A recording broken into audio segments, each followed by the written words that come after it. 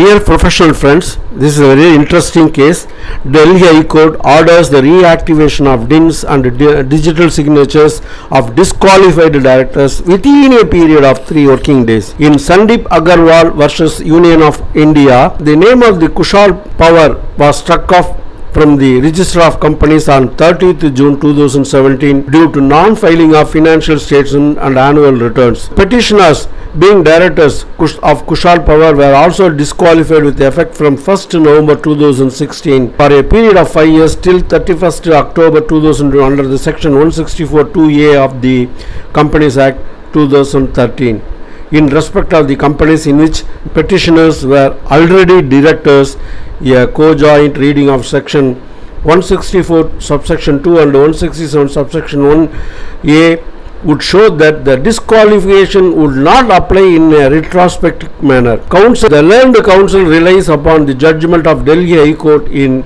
Courtin Mukut Pathak and others versus Union of India and others 265 2019 uh, in Koksun papers is entitled to take a benefit of company's fresh start scheme CFSS 2020 dated 30th March 2020 which is which was introduced by the Ministry of Corporate Affairs whereby active companies are permitted to make good uh, any defaults in filing documents seeking and seek immunity from disqualification.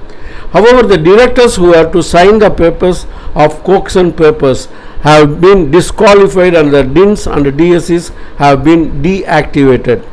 As a result, Koksun paper is not able to avail the benefit of the said scheme. The learned counsel for Koksun papers thus prayed for that in view of the judgment of Mukut Pathak as also subsequent orders where such judgment has been followed, the disqualification of the petitioners be set aside. On behalf of the Ministry of Corporate Affairs, Mr. George, the learned counsel, submitted that judgment in Mukut Pathak has been challenged by way of an appeal by the Ministry of Corporate Affairs and the appeal is pending. So, though no stay has been granted. The learned counsel also relied upon the recent order passed by the learned division bench of two writ petitions that is Anamika Devi versus Uni- Union of India and Gaurav Kumar of uh, versus Union of India to argue that the disqualification list have been notified in 2017. The challenge to the same is extremely belated, hence the writ petition deserves to be dismissed.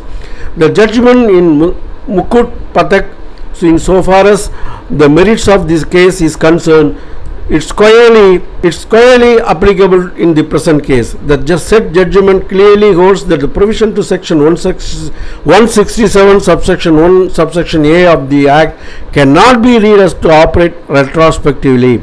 It was further held that the said proviso being a punitive measure with respect to the rights and the obligation of directors cannot be applied retrospectively unless a statutory amendment expressly provi- provides so. In order to enable the directors of Koksun Papers, that is the petitioners herein, to continue the business of active company, the Koksun Papers in the fitness in the fitness of things and also in the view of judgment in Mukut Pratap, the disqualification of petitioners of as directors is set aside.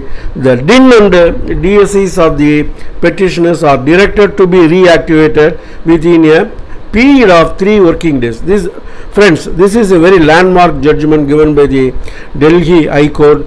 Delhi High Court clearly says that it should not be ap- applicable on, a- uh, on retrospective manner. The deactivation of the DINs and DSC cannot be rea- uh, cannot be done on re- retrospective manner. It should be in prospective manner.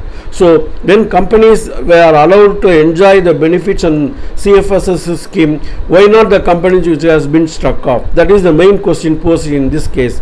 This is very interesting.